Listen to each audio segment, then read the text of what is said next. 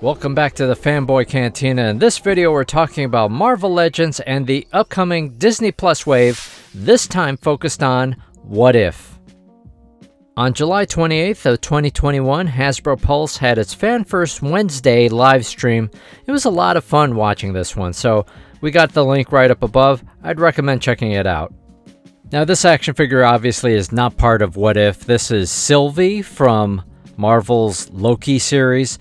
This action figure was revealed through social media some weeks ago now, and it looks great. It's a great rendition with the cloak, and you can take the cloak off, and the action figure also looks great.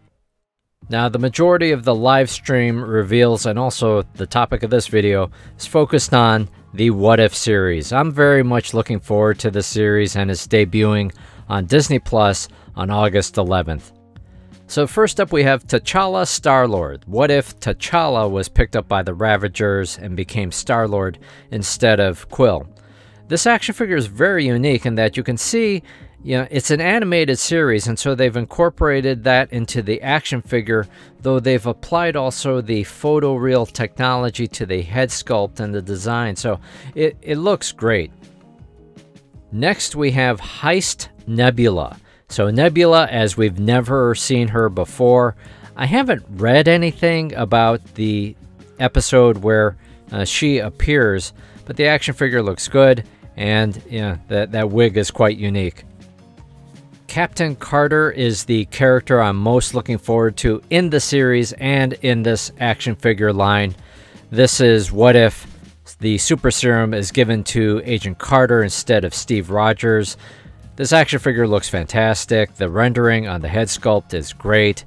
Love the Union Jack shown on the uniform as well as the shield. Just an outstanding looking action figure, and I'm very much looking forward to this episode. This is Doctor Strange Supreme, so a very different take on the Doctor Strange character. He barely appears in the trailer. This seems like a worn out, uh, even more sinister version of Doctor Strange. Uh, I'm very interested in this character.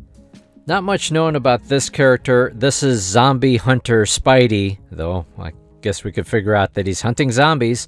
Spider Man barely appears in the trailer.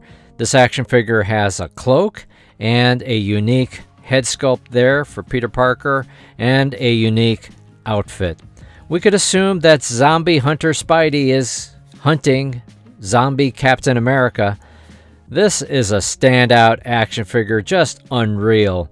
You can see the the skeletal uh, nature of this uh, action figure. Yes, it appears in the trailer. There are holes in the limbs. The uniform is torn, like, and you can see the dangling pieces of, of fabric. Just a truly, truly unique and you know scary looking action figure. They picked the perfect Build-A-Figure for this line. It's Uatu, the Watcher. He does appear in the series. He shows up in the trailer.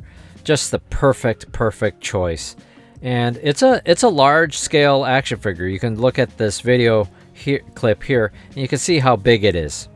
Starting on July 29th at 1 o'clock Eastern, you can pre-order this line from many, many outlets, so it should be widely available. This is a standalone deluxe action figure, the Hydra Stomper. The Hydra Stomper does appear in the trailer, and you can see Captain Carter riding on the back of this thing. There are movable details like with the backpack, and if you move it just so, it reveals a clip, and then you can reenact, you can have Captain Carter riding on the back of the Hydra Stomper. This action figure goes on pre order starting on July 29th at 1 o'clock Eastern Time. This is Binary, and I don't know much about this character. I had to look it up. This is part of the Captain Marvel story. This will be a Walgreens and EB Games exclusive. They are coming out with a better version of the Spider Man Homecoming Vulture, so now more movie accurate wings, and that's a Target exclusive. This is Tigra, and they've got uh, two different head sculpts as well as alternate hands. This action figure will be on pre-order starting on July 29th at 1 o'clock Eastern Time. And lastly, they revealed a new army builder that will be forthcoming, the Hand Ninja, but in black.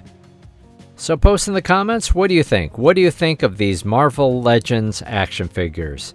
Many of them, again, will go on pre order starting on July 29th at 1 o'clock Eastern Time, and they should be broadly available, so go to your favorite retail outlet. On Disney Plus, you can catch What If starting on August 11th of 2021. As always, thank you so much for watching. Please take a moment to like, share, and subscribe. This has been the Fanboy Cantina.